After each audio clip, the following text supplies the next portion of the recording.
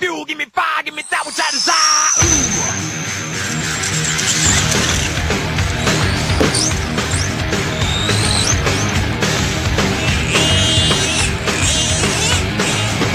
Traxxas RC1. This is the final review for the Venom Creeper Crawler. Um, pretty neat kit. Um, it's about good for anyone. Not good for beginners, I wouldn't say, actually. I think that, that good for intermediate and above. Um, I think on my scale of what's good and what's bad, um, I'd probably give it a B, or uh, I'd give it a B plus. Actually, I'd give it, I'll give it that. But um, let's take the hood off and see what she looks like. Um, here's the box for it. Um, a pretty compact little small box, but uh, still have that. Um, here's the car. Uh, right now it is waterproof, so everything looks kind of ugly. Its battery looks ugly. It all looks pretty ugly because it's all got some black plastic dip on it. But um, very cool crawler. Um, um, sorry, we'll get into positives real quick. Um, positives. This thing works well with a brushed or a brushless motor.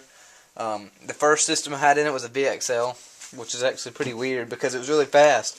But actually, it would do good on the rocks. It had a lot of torque to it for um, VXL. But um, and then I put this brush system in it. It works. It seems to work a little bit better, but still works good. Um,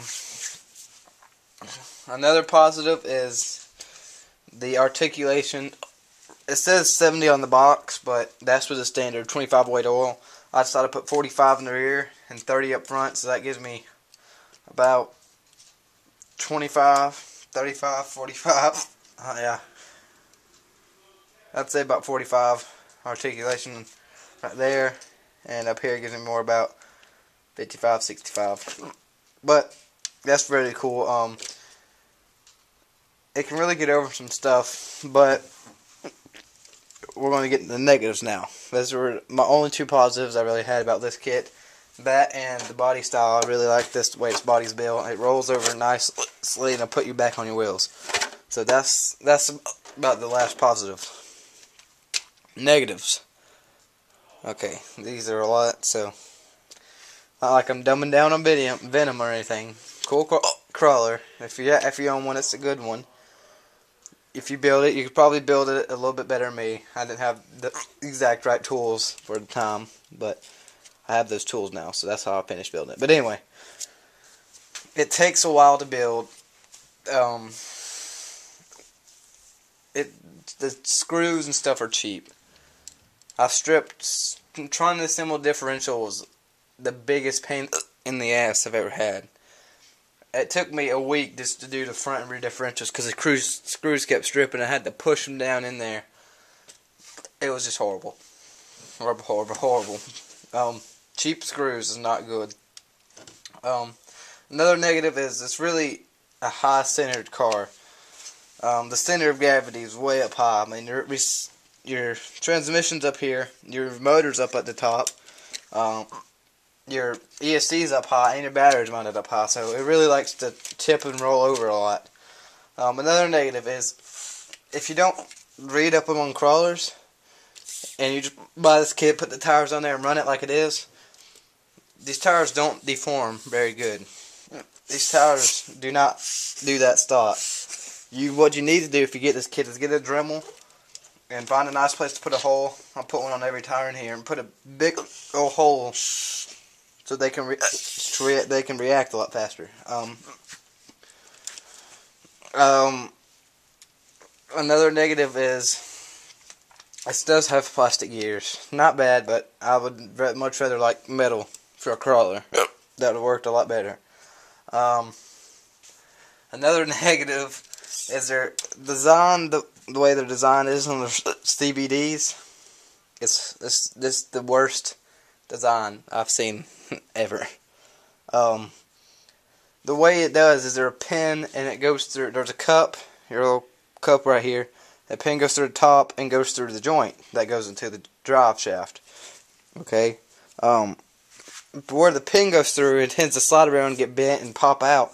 You know, this pin will stick up at top, and when your car drives, it'll get stuck on this little C, C hub right here, and it'll crack the C hub. I have two cracked, both in the front are cracked right now.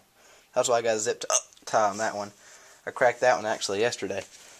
So the pin will come out and it'll crack because they keep just this really horrible design.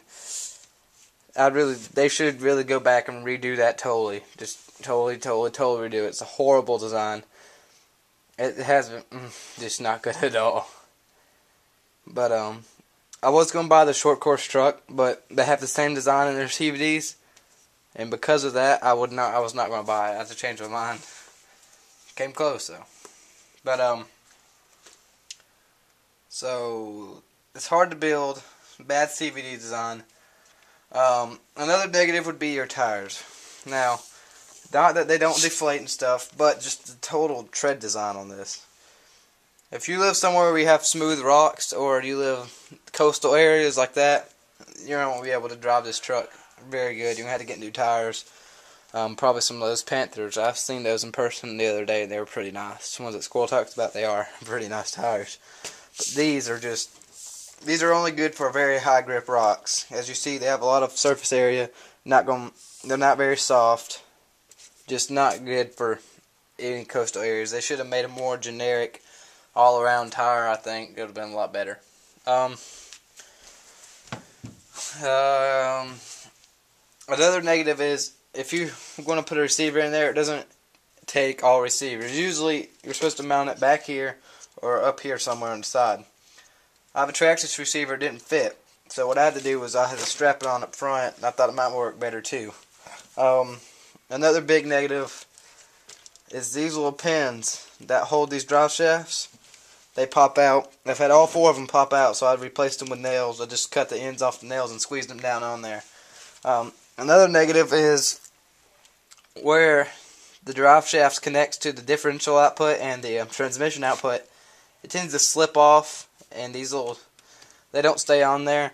It's just like a um these little there's not a hole to go through it, just just a set pin that just sits down on it, kind of like a pinion gear. Um, but that much torque, it likes to rip it some, so I had to put super glue on there, and still I've broke where the super glue was twice. Um, another negative is when you're crawling up a rock, this big part right here, or even this aluminum sometimes, but it's mostly that little bumper it doesn't it doesn't like to go.